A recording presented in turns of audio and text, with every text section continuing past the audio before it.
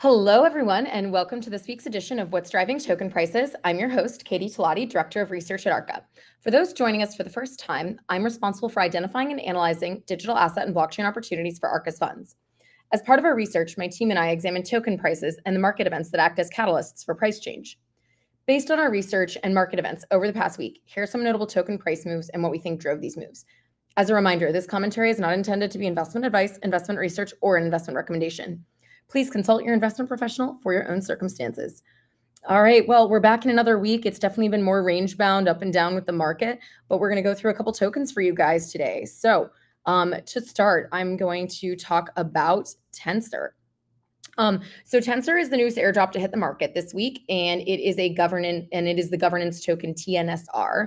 Um, so Tensor, which launched in late 2022, is one of the largest NFT marketplaces on Solana and has frequently been labeled the blur of Solana. Um, despite this, Solana only makes up about 20 to 25% of total NFT trading volume. Um, and Blur in um, Tensor uh, processed about 140 million dollars of volume in March. Um, so this was one of those long-awaited airdrops. A lot of people had been using Tensor in the hopes of getting part of this airdrop. Also, a lot of NFT collections were awarded. Um, some of the Tensor airdrops, such as Mad Lads, um, and a few of the other Solana-based projects.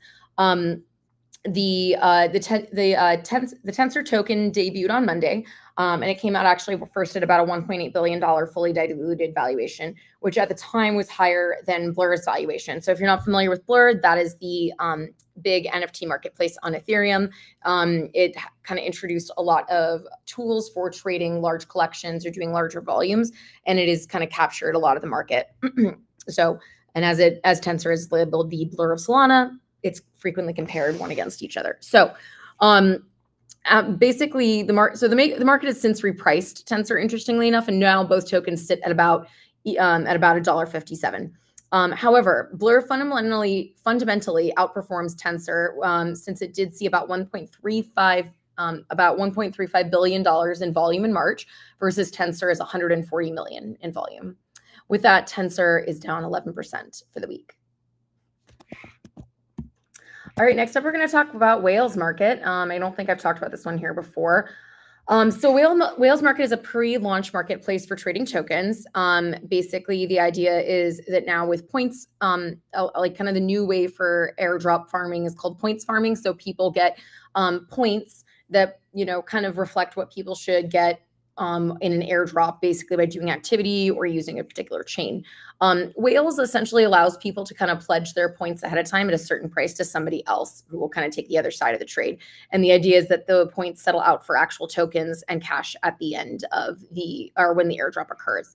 Um, so Whales uh, had a bit of an issue this last week as they had to cancel one of the largest airdrops of the year. So Wormhole is a bridging project. They issued their W token last week via Solana only.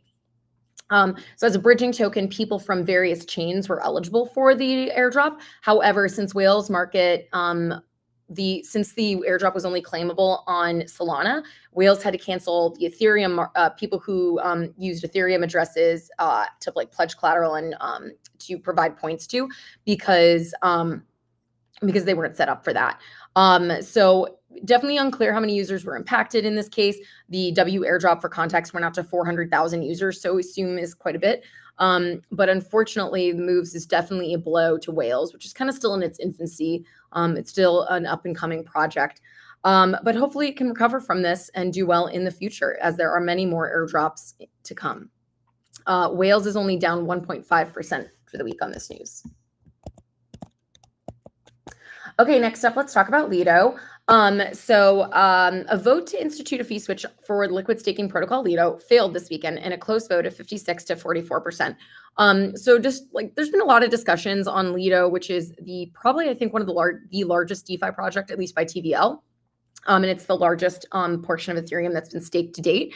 So um, Lido has uh, Lido Lido has been um, Uh, Lido, Lido has had some discussions for quite some time if they should turn on a fee switch, which should essentially divert some of their revenue back to token holders um, or people who stake the Lido token, which is just a governance token in its current form.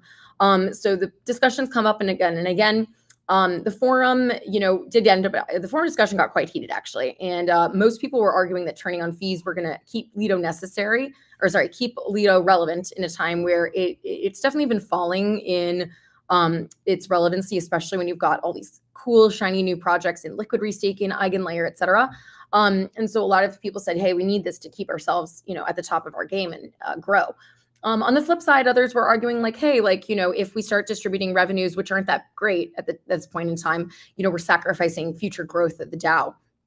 Um, so the opposing, you know, again, uh, all of this is, you know, kind of back and forth. Um, very interesting though to see that the vote was so close. Like I said, 56% voted no, 44% voted yes. You typically really don't see these close votes in governance much um, anymore. But um, you know, we I'm sure this is not the last time we will see a vote on this topic. Uh, to give you guys context, the 30-day annualized earnings to Lido currently sits at about 130 million. So that's about what would be distributed to token holders. Um, and for context, because most of their fees are captured in Ethereum, as Ethereum price goes up, those earnings or revenue will go up. Lido is up 5.1% for the week on this news. Okay, last up, we're gonna hate about we're gonna talk about Ripple. Um, so last week, Payments Project Ripple announced it was going to launch a stable coin that would rival USDT and USDC. Um, while it is unclear how Ripple's stablecoin would differ from existing solutions, as the design describes a US denominated token backed one to one with cash and cash equivalents. By the way, that's basically what Tether and Circle's USDC are. Um, Ripple CEO Brad Garlinghouse did state that stablecoin is the number one thing requested by its user base. Um, so if they did launch a stablecoin, Ripple would be up against some pretty stiff competition, such as um, Tether's USDT, which has AUM of 107 billion, Circle's USDC, AUM of 32 billion, PayPal's PYUSD, AUM of 192 million, and Paxos's USDP, AUM, AUM of 147 million. So it'll not be an easy road for them. However, they're up about 6.9% for the week. All right, guys, that's all I have for you this week. I hope you enjoyed our insights. Tune in here again next Wednesday at 1 p.m. Pacific to hear what's driving token